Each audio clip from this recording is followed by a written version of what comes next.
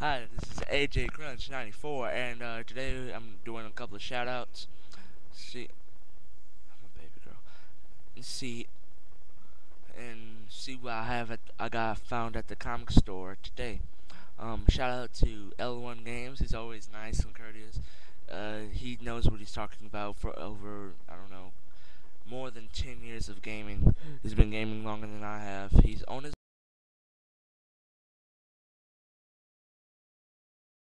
store in Ohio. The name of the street particularly, because I don't live in Ohio. Eh?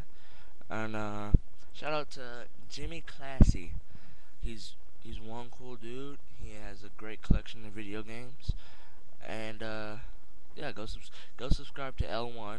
Just subscribe to everyone I mentioned in this um, video.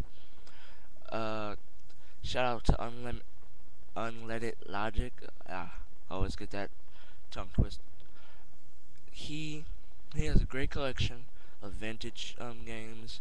He has a good collection of stat of figures, and he has a good collect. He knows what he's talking about. Also, he um he has an awesome game room, which I wish I had. I wish I had a, a Street Fighter arcade machine. Currently, I got the Street Fighter 4 arcade machine that I won at a tournament.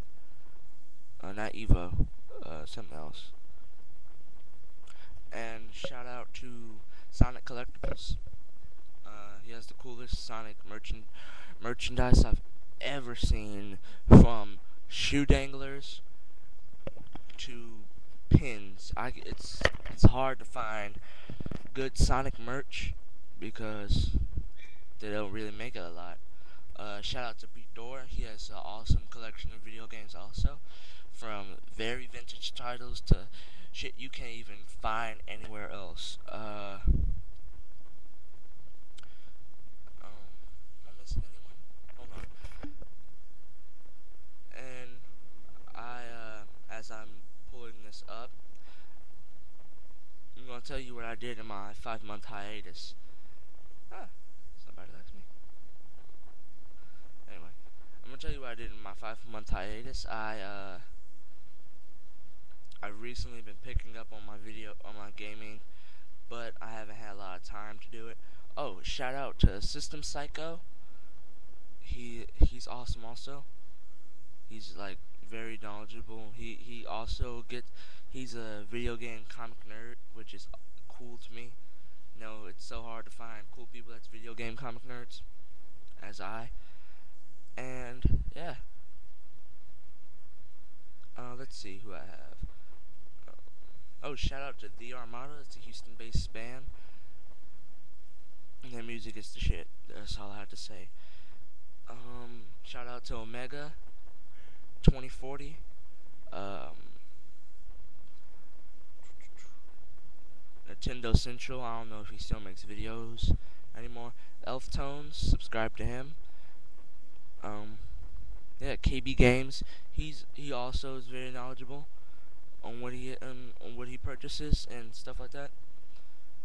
And oh, definite shout out to Happy Console Gamer. He is one of the coolest YouTubers out right now. Um, but yeah, let's go to what I found at the comic store for a hell of a price. I swear I thought I was going to have to spend hundreds upon hundreds of dollars for this one issue. Um, Wolverine picture.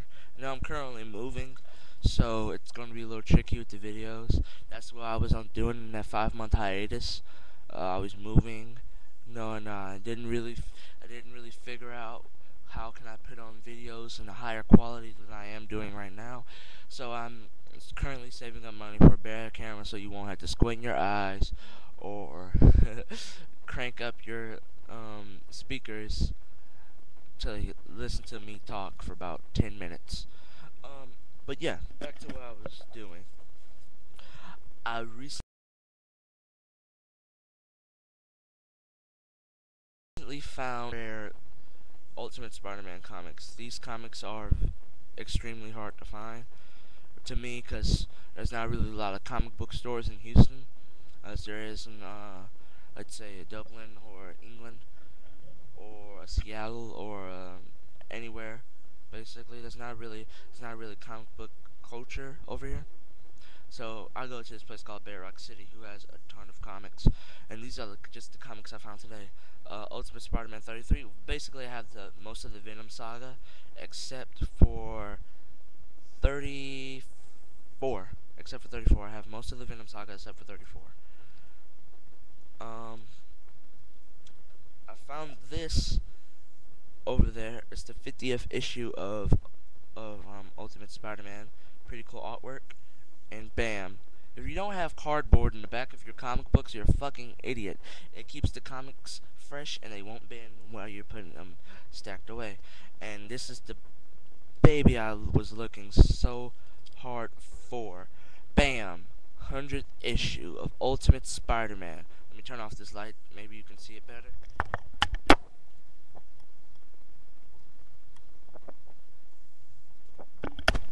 It's the hundred hundredth issue of Ultimate Spider-Man, and um, it's Clone Saga Part Four. And the cover art itself is very awesome. Uh, it got hundreds of Spideys, and I read the comic on the way here when I was sitting on the on the metro, and it's pretty good shit. They brought back uh, they brought back Peter's father and it's amazing twist. Um, I just got started um, collecting Spider-Man comics again, because um, most of my comics were burnt, including a vintage copy of Spider-Man 1. Yeah, I wasn't too happy about that. My Spider-Man 1 copy got burnt, but luckily for me, I split my Action Comics issue number one that I've inherited.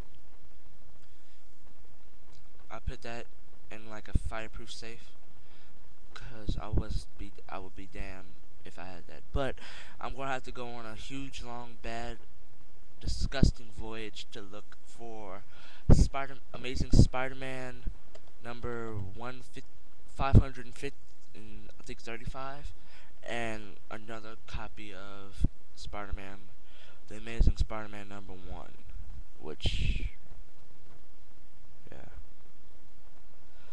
that sucks. But yeah, it's a so it's a pretty good comic. It brings a plot twist, and most of the um most of people I've talked to about the Ultimate Spider-Man series is that why the hell is Gwen Stacy alive again? Well, they kind of discussed it in Ultimate Spider-Man 100, but it's gonna be hard to get your hands on the sucker.